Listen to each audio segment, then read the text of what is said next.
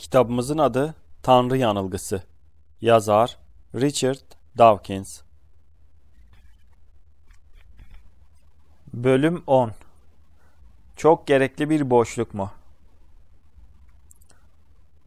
Uzak bir galaksiyi 2,5 metrelik bir teleskopla belli belirsiz görmekten veya 100 milyon yaşındaki bir fosili ya da 500 bin yıllık bir taş aleti elinizde tutmaktan veya uzay ve zamanın dar yarığı yani büyük kanyon önünde durmaktan veya gözlerini evrenin başlangıcına dikmiş olan ve onları hiç kırpmayan bir bilimciyi dinlemekten daha ruh titretici ne olabilir? İşte bu derin ve kutsal bilimdir. Michael Shermer bu kitap çok gerekli bir boşluğu doldurur. Bu şaka işe yarar çünkü bundan aynı anda iki zıt anlam çıkarırız. Bu arada bu espriyi icat ettiğimi sanıyordum ama bir de baktım ki gerçekte bütün masumiyetiyle yayıncılar tarafından zaten kullanılmış. Post yapısalcı hareket üzerine mevcut yazıdaki çok gerekli bir boşluğu dolduran bir kitap için www.kcl.ac.uk ki School Homes French PGRT HTML adresine bakın. Bu bariz biçimde gereksiz kitabın tamamen Michael Foucault, Roland Barthes, Julia Kristeva ve diğer üst sınıf Frankafoncuların alakalı olduğunu görürsünüz. Din çok gerekli bir boşluğu doldurur mu? Beynimizde doldurulmasının gerekli olduğu Tanrı şeklinde bir boşluk olduğu sıklıkla söylenir. Tanrı'ya, hayali arkadaşa, babaya, büyük biradere, günah çıkartan papaza, sırdaşa, psikolojik olarak ihtiyacımız var ve bu ihtiyaç Tanrı ister var olsun, ister olmasın karşılanmalıdır.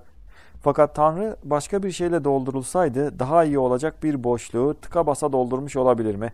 Bilim belki, sanat, insan arkadaşlığı, insancılık, mezardan ötedeki diğer hayvanatlara itimat etmeyip gerçek dünyadaki bu hayatı sevmek bir doğa veya büyük böcek bilimci E.O. Wilson'ın biyofilya olarak adlandırdığı şey sevgisi. Dinin insan yaşamının çeşitli zamanlarındaki dört ana rolü yerine getirdiği düşünülmüştür. Açıklama, tavsiye, teselli ve ilham. Tarihsel olarak din varlığımızın nedenini ve kendimizi içinde bulunduğumuz evrenin yapısını açıklamaya can atmıştır. Şimdi bu roldeki yeri artık tamamen bilim tarafından devranılmıştır ve bu konuyu bölüm 4'te ele almıştım. Tavsiye demekle nasıl davranmamız gerektiği konusunda ahlaki açıklamaları kastediyorum ve bu konuyu 6-7. bölümlerde halletmiştim.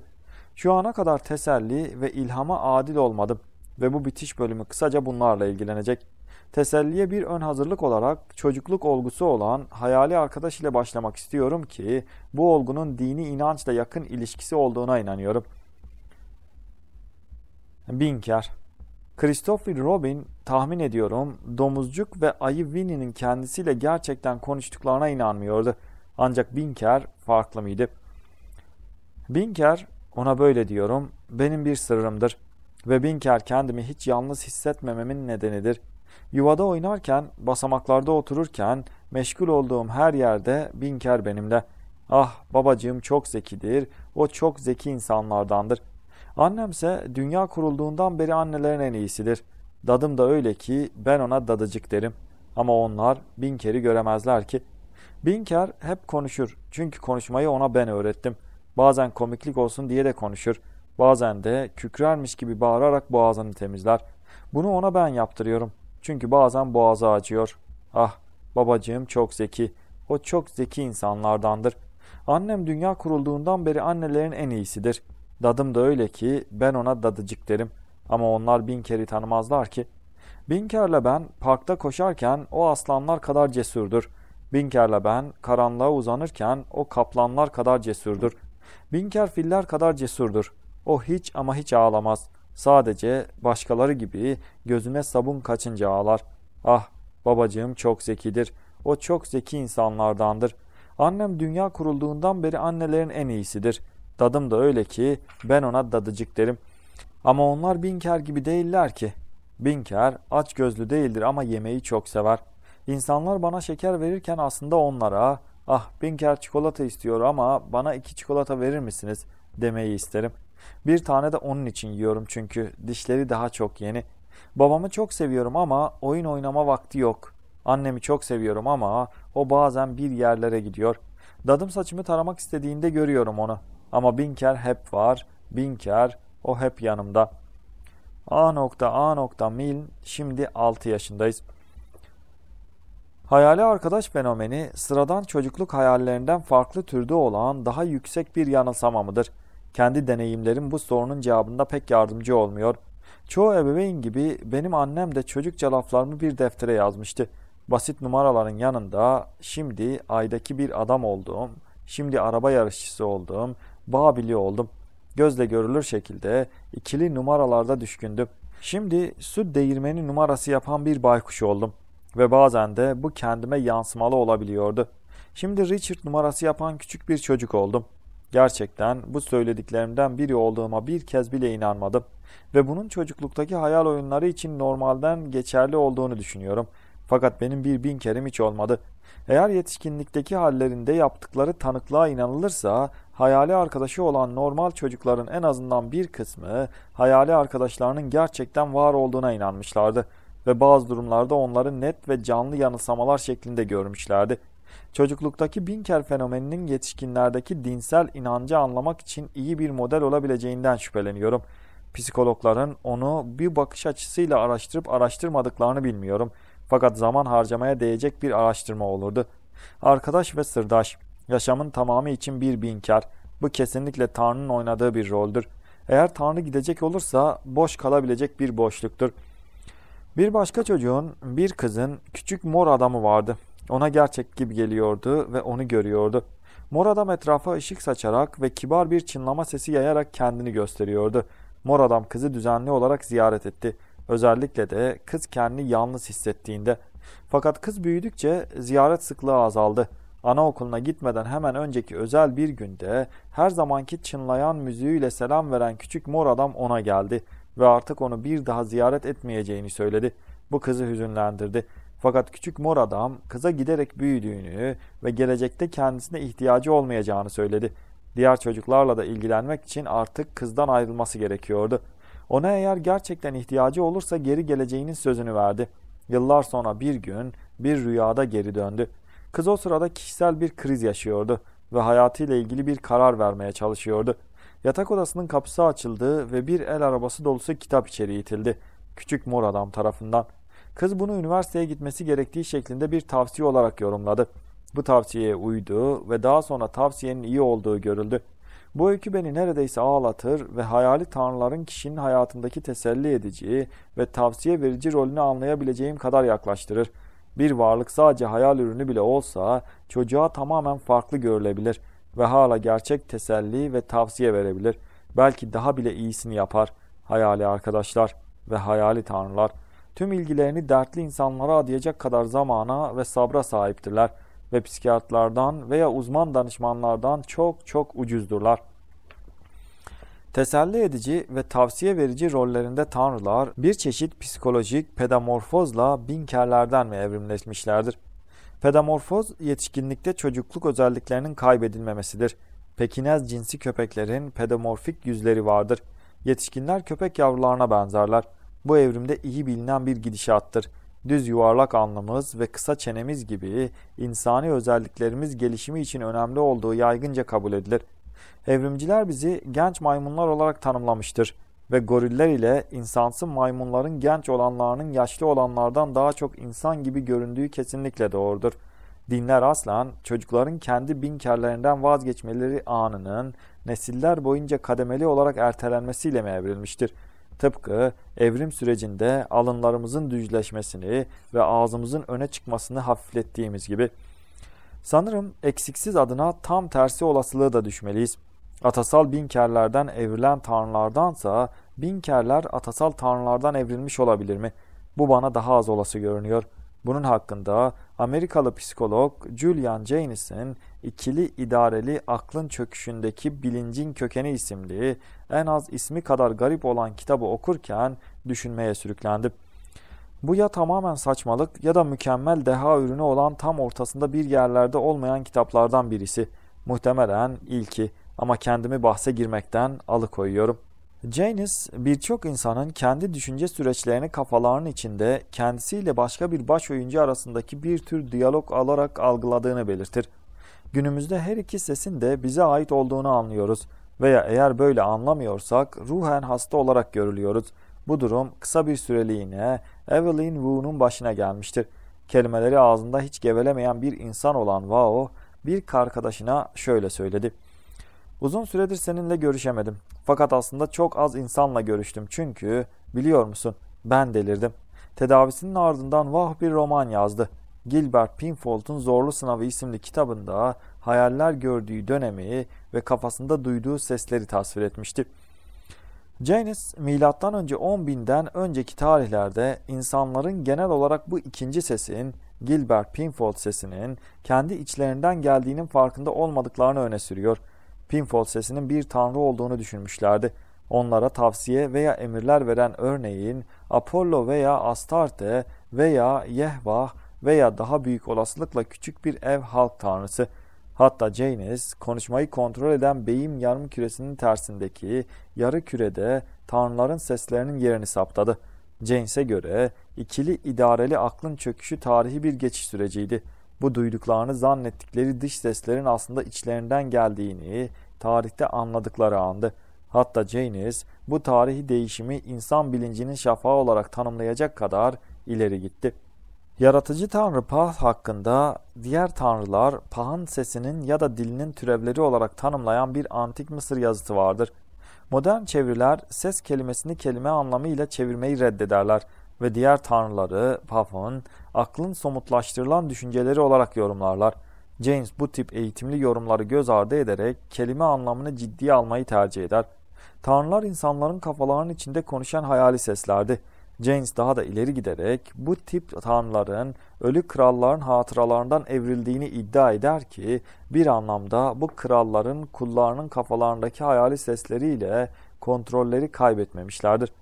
James'in tezini ister akla uygun bulmuş olun ister olmayın.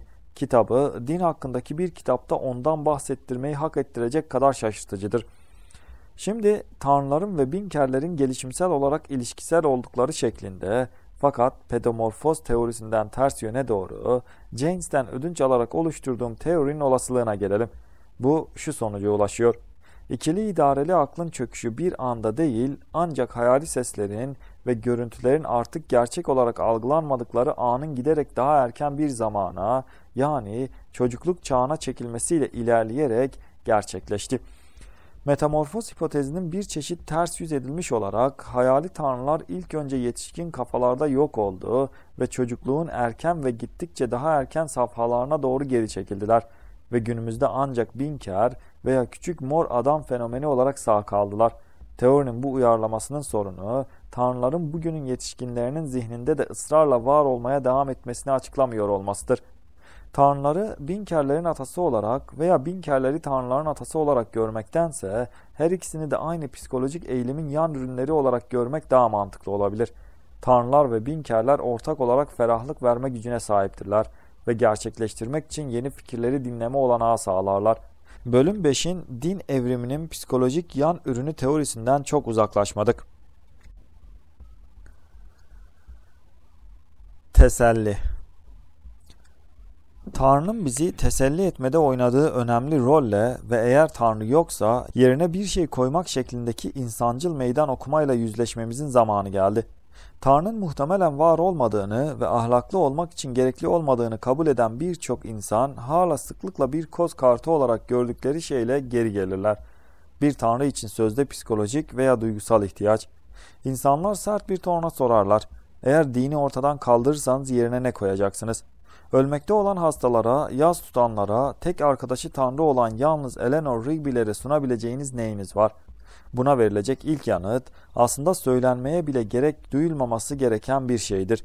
Dinin teselli etme gücü onu doğru yapmaz muazzam bir kabulde bulunsak ve Tanrı'nın varlığına olan inancın insan psikolojisi ve duygusal sağlığı için tamamen gerekli olduğunu kesin olarak ispatladığımızı ve bütün ateistlerin evrensel pişmanlıklar yüzünden intihara sürüklenen çaresiz sinir hastaları olduğunu düşünsek bile bütün bunların hiçbiri dini inancın doğru olduğuna dair mini minnacık bir nokta veya zerre kadar kanıt olmayacaktı.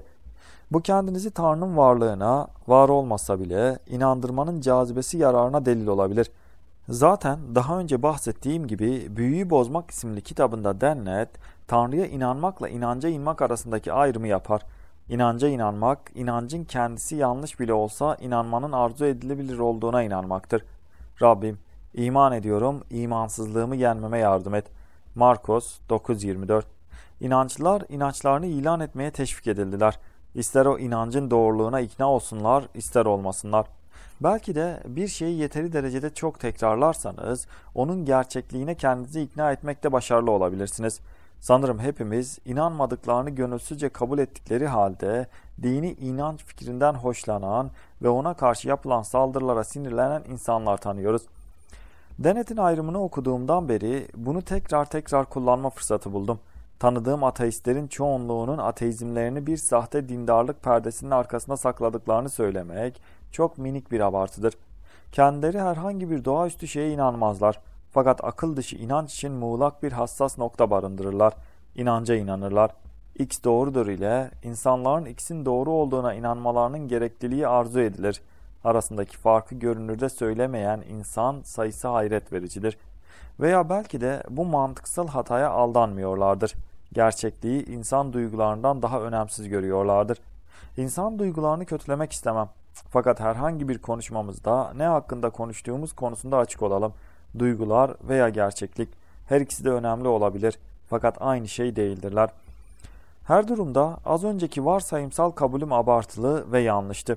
Ateistlerin mutsuz olmaya veya pişmanlık dolu umutsuzluğa genel meyilmeleriyle ilgili bildiğim hiçbir kanıt yoktur. Bazı ateistler mutludur, diğer bazıları sefildir. Benzer şekilde bazı Hristiyanlar, Yahudiler, Müslümanlar, Hindular veya Budistler sefilken diğer bazıları mutludur. Mutluluk ve inanç veya inançsızlık arasında ilişki olduğu hakkında istatistiksel kanıtlar olabilir fakat ister kötüye doğru olsun ister iyiye güçlü bir etkisi olabileceğinden şüpheliyim. Tanrı olmadan yaşamanın moral bozukluğu yaratması için iyi herhangi bir neden olup olmadığını sormayı daha ilginç buluyorum.'' Aksine insanın doğaüstücü din olmadan mutlu ve dop dolu bir yaşam sürebileceğini söylemenin yetersiz kaldığını tartışarak bu kitabı sonlandıracağım. Gerçi ilk olarak dinin teselli sunduğu iddialarını sınamalıyım. Kısaltılmış Oxford sözlüğüne göre teselli, kederin veya zihinsel ızdırabın yatıştırılmasıdır. Teselliyi iki türe ayıracağım. 1. Doğrudan fiziksel teselli. Çıplak bir dağda gece vakti mahsur kalmış bir adam teselliyi kocaman ve sıcak bir Sam Bernard köpeğinde bulabilir. Tabi boynuna dolanmış kayak fıçısını da unutmayalım. Ağlayan bir çocuk teselliyi güçlü kolların onu sarmalayan kucaklamasında ve kulağına fısıldanan güven verici sözcüklerde bulabilir. 2. Önceden hesaba katılmamış bir gerçeği keşfederek veya mevcut gerçeklere daha önce keşfedilmemiş bir yolla bakarak teselli. Kocasını savaşta kaybetmiş bir kadın, kocasının bebeğini karnında taşıdığını fark ederek ya da kocasının bir kahraman olarak öldüğünü öğrenerek avunabilir. Bir durum hakkında yeni bir düşünce şekli bularak da teselli olabiliriz. Bir felsefeci yaşlı bir adamın ölüm anının hiçbir özelliği olmadığını belirtir. Bu yaşamı aniden son bularak değil ama yaşlanarak uzun zaman önce ölmüş bir çocuktur. Shakespeare'in yedi aşamalı hayatı olan adamın her bir aşaması yavaşça bir sonrakine değişerek ölür. Bu bakış açısıyla yaşlı adamın yavaşça son nefesini verdiği anın hayatının aşamalarının yavaş ölümlerinden bir farkı yoktur. Kendi ölüm beklentisinden hoşlanmayan bir adam bu değişmiş bakış açısını teselli edici bulabilir veya bulmayabilir. Fakat bu derin düşünce yoluyla teselli olmanın bir örneğidir. Mark Twain ölüm korkusunu ciddiye almayı reddetmesi bir başkasıdır. Ölümden korkmam. Doğmadan önce milyarlarca yıl boyunca ölüydüm ve bundan dolayı en ufak bir acı bile çekmemiştim. Olayın iç yüzünü kavramak, kaçınılmaz ölümümüzün gerçekliği hakkında hiçbir şey değiştirmez. Fakat bize bu kaçınılmazlığa bakmak için farklı bir yol sunulmuştur ve bunu teselli edici bulabiliriz. Thomas Jefferson da ölümden hiç korkusu olmamıştı ve hiçbir türden ölüm sonrası yaşama inanırmış gibi görünmemiştir. Christopher Hitchens'e göre Sona yaklaşmaya başladığında Jefferson arkadaşlarına birden fazla kere yaklaşmakta olan sonla hiçbir umut veya korku olmaksızın yüzleştiğini yazmıştı. Bu en yanlış anlaşılmayacak ifadeyi kullanırsak onun bir Hristiyan olmadığını söylemekle eşdeğerdir. Güçlü entelektüeller Bernard Russell'ın 1925 tarihli denemesi olan Neye inanıyorumdaki güçlü konuyu sindirmeye hazır olabilirler. İnanıyorum ki öldüğümde çürüyeceğim ve egomdan geriye hiçbir şey kalmayacak. Genç değilim ve hayatı seviyorum. Fakat yok olma düşüncesinin dehşetiyle titremeyi küçümsemek zorundayım. Mutluluk her şeye rağmen gerçek mutluluktur. Çünkü mutlaka bir sona ulaşılmalıdır veya sevgi ve düşünce değerlerini yitirmezler. Çünkü sonsuza kadar sürmezler. Birçok insan gururla dar ağacına gitmiştir ve kesinlikle aynı gurur bize insanın dünyadaki yerini gerçekten düşünmeyi öğretmelidir. Bilimin açık pencereleri ilk başta bizi geleneksel insancıllaştırıcı efsanelerin rahat ev içi sıcaklığı sonrasında ürpertmiş olsa bile sonuçta taze hava yaşama gücü verir ve büyük mekanların kendi görkemleri vardır.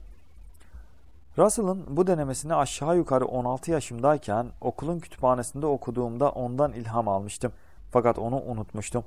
2003'te Bir Şeytanın Papazı isimli kitabımı yazarken ona bilinçsiz bir saygı göstermekte olmam mümkündür.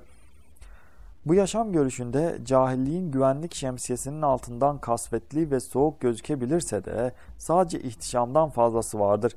Anlayışın sert rüzgarına, gitsin yıldızlı yollar boyunca esen rüzgarlarına karşı dik durup onunla yüzleşmekle edinilecek derin bir yeniden canlanma vardır. Din, örneğin bilimle bahsettiğim bu iki kitap teselliyi sağlama konusunda nasıl kıyaslanabilir? İlk olarak birinci tip teselliye baktığımızda Tanrı'nın güçlü kollarının tamamen hayali olsalar bile bir arkadaşın gerçek kolları ya da boynunda bir konyak fıçısı taşıyan Sam Bernard köpeğinin verdiği teselliyle tamamen aynı yoldan teselli verici olabileceği fikri oldukça akla yatkındır. Fakat elbette bilimsel ilaç kullanımı da genellikle konyaktan daha etkili bir rahatlık sağlayabilir. Şimdi ikinci tip teselliye dönersek, burada dinin son derece etkili olabileceğine inanmak kolaydır. Deprem gibi korkunç bir felaketten etkilenen insanlar sıklıkla bunun Tanrı'nın sırrına erişilmez planının bir parçası olduğunu düşünerek teselli türettiklerini beyan ederler. Hiç şüphesiz zamanı gelince bundan iyi şeyler çıkacaktır. Eğer birisi ölümden korkarsa ölümsüz bir ruha sahip olduğuna dair içten bir inanç teselli edici olabilir. Tabii ki cehenneme veya Araf'a gideceğini düşünmüyorsa. Yanlış inançların her bir parçası gerçek olanlar kadar teselli edici olabilir. Tabii yanlışlığı fark edene kadar. Bu dinsel olmayan inançlarda da böyledir. Ölümcül bir kansere yakalanmış bir adam iyileştiği yalanını söyleyen bir doktor tarafından teselli edilebilir. Tıpkı iyileştiği doğru olarak kendisine söylenmiş başka bir adamdaki kadar etkilidir. Ölümden sonra hayata içten ve candan bir inanç, yanlışlığını anlama konusunda bir yalancı doktora inançtan bile daha bağışıklıktır. Doktorun yalanı, belirtiler açıkça ortaya çıkana kadar işe yarar. Ölümden sonra yaşama inanan birisine inancın yanlışlığı hiçbir zaman gösterilemez.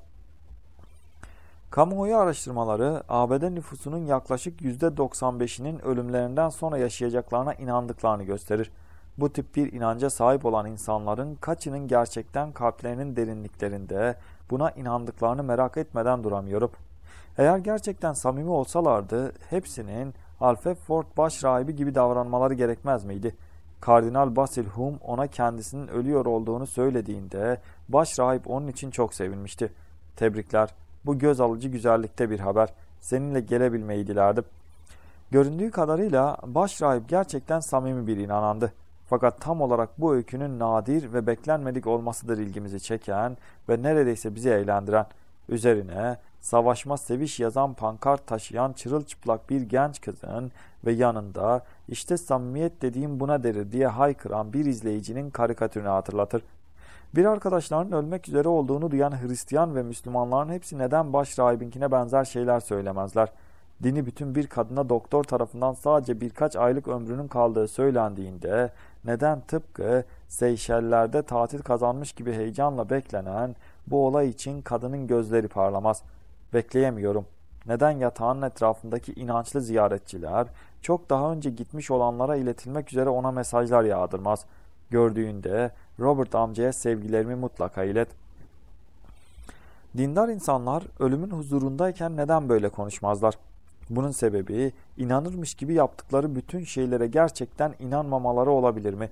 Veya belki de gerçekten inanıyorlardır ama ölüm sürecinden korkuyorlardır.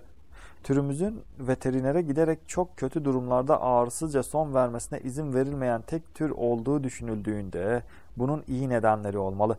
Fakat bu durumda ötenaziye ve yardım alarak intihar etmeye en yüksek sesli itiraz eden dindarlardan gelir.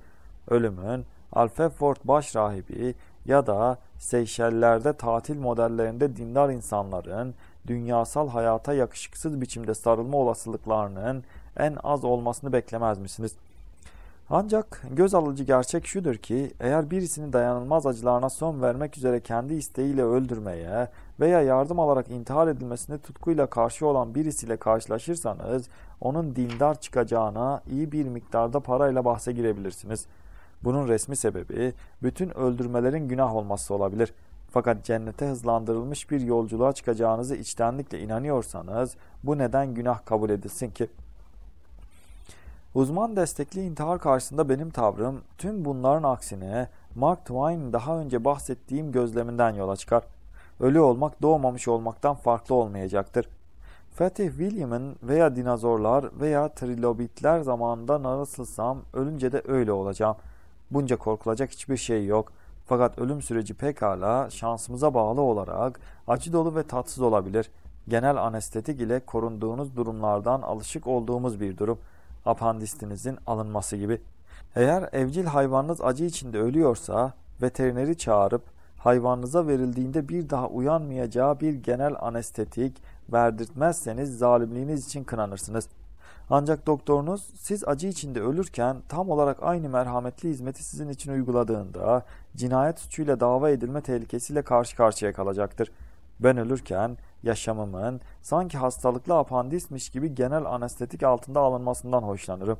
Ancak bana bu ayrıcılık tanınmayacaktır çünkü ben örneğin Canis familiaris veya Felis catus türlerinin bir üyesi olarak değil, Homo sapiens'in bir üyesi olarak dünyaya gelecek kadar talihsizdim.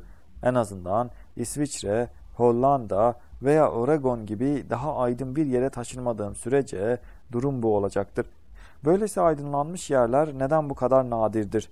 Çoğunlukla dinin etkisi yüzünden. Fakat denilebilir ki apandisinizin alınmasıyla hayatınızın alınması arasında önemli bir fark yok mudur? Yoktur gerçekte. Eğer zaten ölmek üzereyseniz yoktur ve ölümden sonra hayata samimi bir inancınız varsa yoktur. Eğer bu inanca sahipseniz ölüm sadece bir hayattan ötekine geçiştir. Eğer geçiş acılıysa buna anestetiksiz katlanmayı, apandisinizin ameliyatsız alınmasını isteyeceğinizden daha fazla istememelisiniz.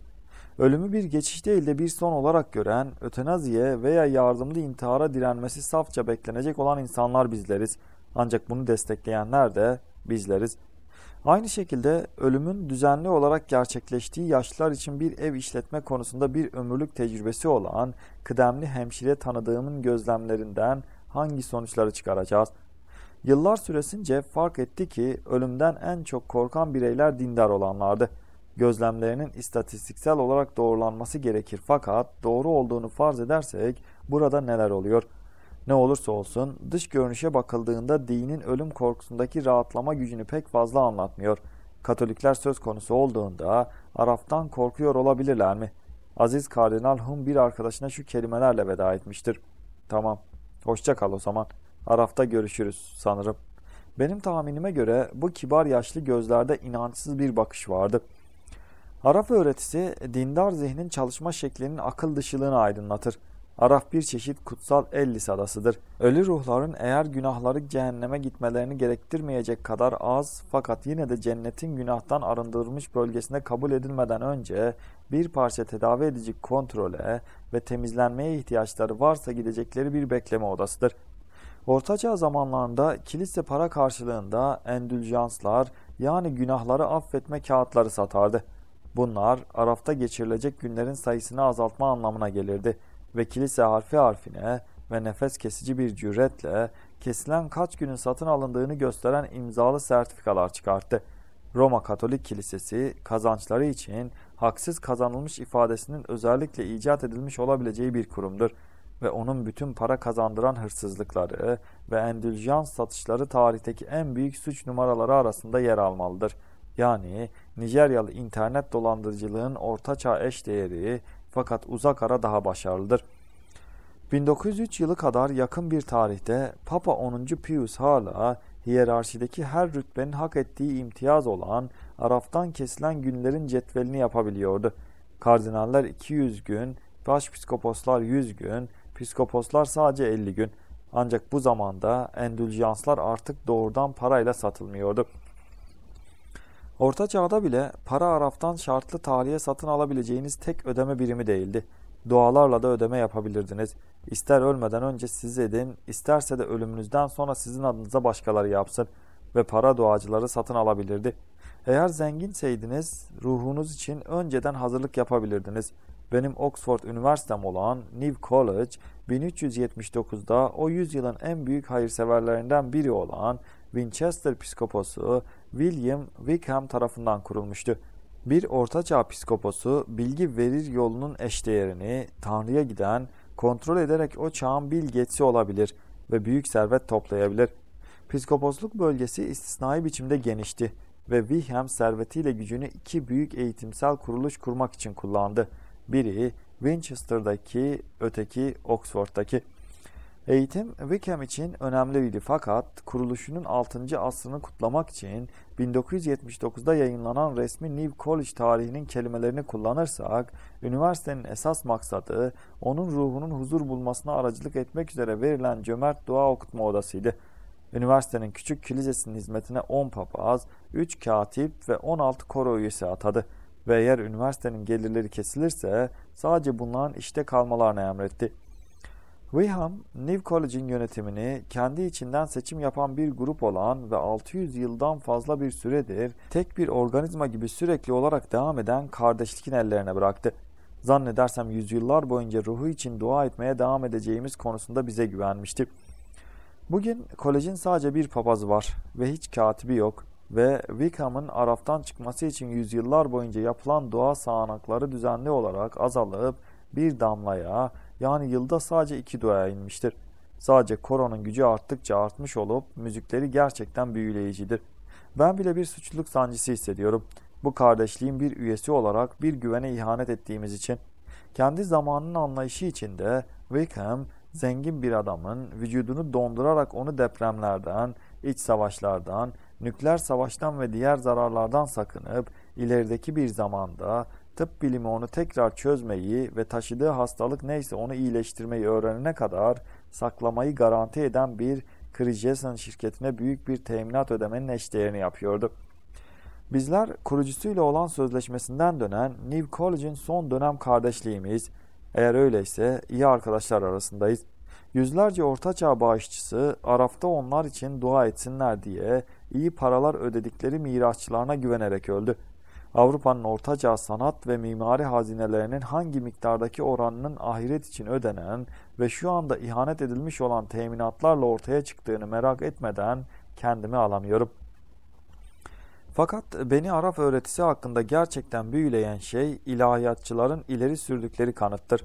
Kanıt o kadar etkileyici şekilde zayıftır ki onu ileri sürerken takınılan havalı tavra daha da komik bir hava katar. Katolik ansiklopedisindeki Araf maddesinde kanıtlar denen bir bölüm vardır. Araf'ın varlığının temel kanıtı şudur.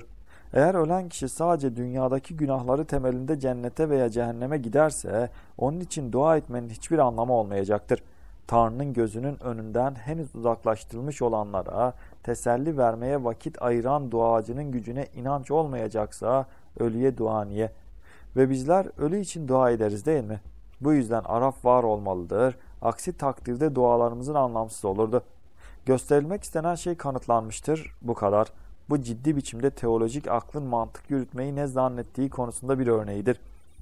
Bu dikkate değer alakasız laflar daha geniş bir ölçekte olan ve yaygın kullanılan teselliden kanıta yansıtılır. Eğer Tanrı olmalıdır diye ilerler bu iddia. Çünkü eğer olmasaydı yaşam boş, anlamsız, abes ve bir anlamsızlık ve değersizlik çölü olacaktı. Bu mantığın daha ilk engelde yere kapanıldığını belirtmeye nasıl olur da gerek olabilir? Belki hayat boştur. Belki de ölü için yaptığımız dualar gerçekten anlamsızdır. Aksini varsaymak, ispatlamaya çabaladığımız sonucun kendisinin gerçekliğini varsaymaktır. Buradaki sözde tüme varım açık biçimde dolan başlıdır. Karnınız olmadığı bir hayat pek ala çekilmez, anlamsız ve boş olabilir. Fakat bu maalesef onun ölmesini engellemez. Başka birilerinin, çocuklar söz konusu olduğunda ebeveynler, yetişkinler söz konusu olduğunda Tanrı, sizin hayatınıza anlam ve amaç katma sorumluluğu olduğu varsayımında çocuksu bir şeyler vardır. Bu bileklerini burktuklarında etrafta dava edecek birilerini arayanlardaki bebeksilikle aynı türdendir. Benim mutluluğumdan başka birileri sorumlu olmalıdır ve eğer canım acırsa suçlu başka birileri olmalıdır. Bu bir tanrıya olan ihtiyacın gerçekte arkasında yatanla benzer bir bebeksilik değil midir? Bin kere geni mi döndük? Doğru olan yetişkin bakış açısı bunun aksine hayatımızın onu yapmayı seçtiğimiz kadar anlamlı, dolu ve harika olduğudur. Ve onu gerçekten de çok harika yapabiliriz. Eğer bilim maddi olmayan bir teselli veriyorsa son konum olan ilham da bunu göreceğiz.''